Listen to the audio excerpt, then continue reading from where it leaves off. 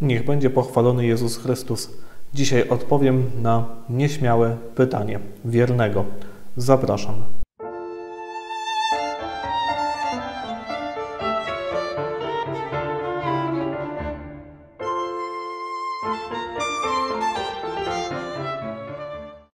Pan Dawid Mysior sformułował, moim zdaniem, bardzo ważne pytanie w swoim materiale Ekumenizm, dialog między religiami, nieśmiałe pytania wiernego.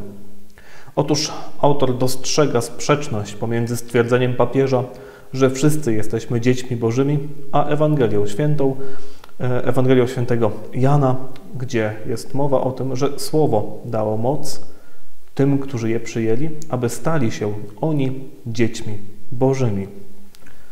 Jak najbardziej to spostrzeżenie jest bardzo ważne i e, to, że Pan to dostrzega, jest już rzeczą, która świadczy o tym, że jest Pan, jak Pan często mówi w swoich materiałach, właśnie człowiekiem myślącym. Jak najbardziej zgadza się, że Kościół naucza, że człowiek staje się dzieckiem Boga poprzez wszczepienie w Chrystusa. A więc, co do naszej natury, nie jesteśmy dziećmi Bożymi w ścisłym sensie tego słowa. Dlaczego?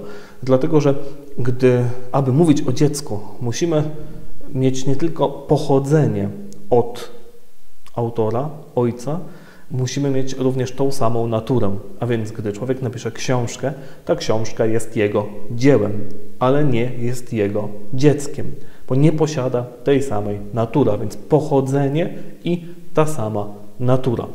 A więc człowiek, co do swojej natury, jest stworzeniem Bożym, jest jego dziełem, nie jest jednak jego dzieckiem.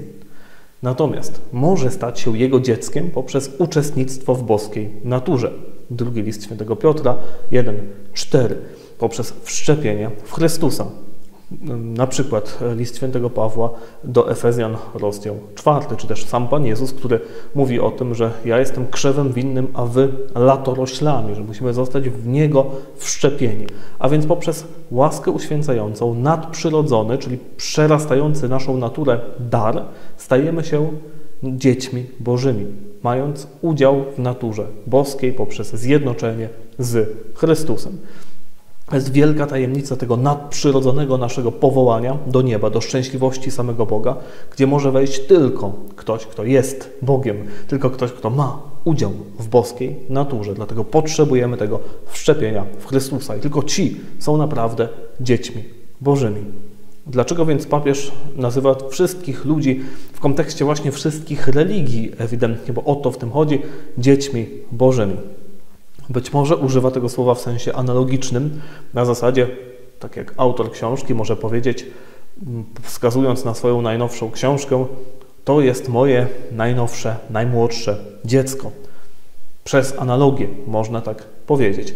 Natomiast oczywiście, gdy papież wspólnie z innymi przedstawicielami, z przedstawicielami innych religii e, takie rzeczy mówi, to mm, trudno twierdzić, że może on sobie tak po prostu używać takich uproszczeń, dwuznaczności, bez tego, że będzie to z wielkim zagrożeniem dla wiary wiernych. I myślę, że tak to właśnie jest. To znaczy, myślę, że papież używa tego słowa być może w sensie takim analogicznym, nie wiem tego, a jeśli tak go używa, to e, mimo wszystko jest to tekst, który stwarza duże zagrożenie dla wiary katolików. Jest on ewidentnie sprzeczny z tym, co Kościół naucza, jeśli brać go dosłownie. Dlaczego papież takie rzeczy mówi? Otóż odpowiedzią na to pytanie jest herezja modernizmu.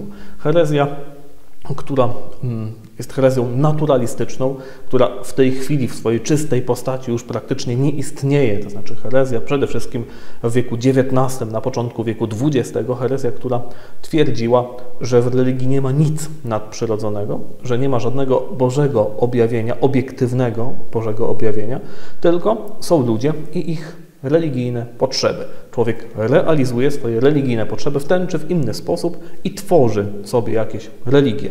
I, czyli ludzkie potrzeby według herezji modernizmu są jedynym wyjaśnieniem istnienia jakichkolwiek religii. Nie ma więc w nich miejsca na objawienie, w sensie na obiektywne przemawianie Boga do człowieka. Nie ma w nim tak naprawdę nawet miejsca dla Boga, który byłby jako e, pewne istnienie, w sensie jako byt absolutny, tylko przypuszczenie, że ten Bóg jest, bazujące na ludzkich uczuciach religijnych. Jest to herezja bardzo niebezpieczna, potępiona uroczyście przez świętego Piusa X, który dostrzegł, że ta herezja ma tendencję do tego, żeby ukrywać się w kościele, żeby wchodzić w struktury kościelne i powoli je degradować. Dlatego powołał czy stworzył przysięgę antymodernistyczną, o której mówię w moim materiale Kto jest zagrożeniem dla Kościoła, jak również w materiale Nowa Msza, e, Modernizm a Nowa Msza. Bardzo polecam te dwa materiały w tym kontekście. A więc święty papież Pius X ustanawia przysięgę antymodernistyczną po to, aby powstrzymać mm, takie oddolne, niewidzialne, można powiedzieć, działanie tej herezji modernizmu, która to próbuje przeniknąć struktury kościelne i zarazić kapłanów, hierarchów, hierarchów tym sposobem myślenia. Ta sytuacja trwa w około w połowie XX wieku Pius XII ponawia to potępienie modernizmu, co wskazuje na to, że nie został on pokonany w swojej encyklice Humani Generis. Natomiast już wkrótce później to, co przed chwilą było potępiane jeszcze przez Piusa XII, nagle wydaje się być taką dominującą, powiedzmy, że modą w teologii i ja bym to nazwał takim tchnieniem postmodernizmu, to znaczy jest to bardzo rozwodniona forma modernizmu, która um, przejawia się w różnych formach prawie wszędzie obecnie w Kościele. Może być różnie, mogą być teologowie, którzy są mniej dotknięci, tacy, którzy są bardziej dotknięci, kościoły lokalne, które są mniej które są bardziej dotknięte, ale wszędzie gdzieś tam pozostawiła ona pewne ślady, ta herezja modernizmu, dlatego mówiłbym właśnie tutaj o takim postmodernizmie, to znaczy o stanie, w którym modernizm wszedł w cały krwiobieg Kościoła i wyrządził takie czy inne szkody i już istnieje w tym całym organizmie, we wszystkich jego organach, e, w tej czy w innej formie, wyrządziwszy różne szkody. To mam na myśli, gdy mówię o postmodernizmie, o stanie tego organizmu, który już um, cały został nim przesiąknięty i już wyrządzono tam poważne szkody poprzez tą truciznę. I e, dlatego Kościół dzisiaj, dlatego bardzo łatwo możemy usłyszeć w Kościele właśnie takie naturalistyczne stwierdzenia. Pomimo tego, że nigdy nie zostało to mm, odwołane, że człowiek jest dzieckiem Bożym tylko poprzez łaskę uświęcającą, że oczywiście Kościół nie może takich rzeczy odwołać, to w praktyce tego w ogóle w nauczaniu nie ma. Dlatego obchodzi się na przykład dni islamu, w ogóle nie sugerując, że człowiek potrzebuje łaski uświęcającej do zbawienia, tylko wskazując, jak to pięknie jest się wzajemnie rozumieć i żyć razem w zgodzie i tak dalej, i tak. Jest to również wyjaśnienie mm, dla w ogóle wszelkiego dialogu międzyreligijnego, po prostu nie, takiego dialogu, w którym w ogóle nie wspomina się o tym, że Chrystus jest koniecznie potrzebny do zbawienia, o którym w ogóle nie wspomina się, że łaska uświęcająca jest nam koniecznie potrzebna do zbawienia, tylko właśnie sugeruje się, że wszyscy jesteśmy braćmi i chodzi o to, żebyśmy się teraz wzajemnie dogadali. Stąd te objawy w Kościele z tej herezji modernizmu, która wyrządziła te czy inne szkody i która istnieje w mniejszym lub większym stężeniu w całym Kościele. I takie większe stężenie staje się dla nas widoczne właśnie chociażby w tym filmie mm, papieża, który został przedstawiony w materiale pana Mysiora. A więc, co należy zrobić? Należy w takiej sytuacji po, postawić, czy wybrać drogę synowskiego oporu.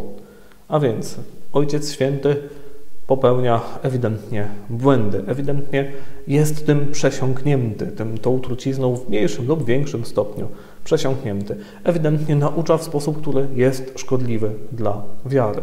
Dlatego możemy, powinniśmy ze świętym Pawłem powtórzyć sprzeciwiłem się Kefasowi, bo na to zasłużył. Jak najbardziej mamy do tego prawo. Tak samo jak dzieci mają do tego prawo, jeśli ojciec jest pod wpływem alkoholu i przykazuje im zrobić coś moralnie złego, mają prawo mu się sprzeciwić. Tak samo my mamy prawo sprzeciwiać się wobec niszczenia Kościoła przez samych hierarchów Kościoła, które wynika z tego, że zostali w dużej mierze w mniejszej lub większej mierze zatruci przez tą herezję modernizmu. I ten sposób działają, że wcale dla Kościoła korzystne to nie jest.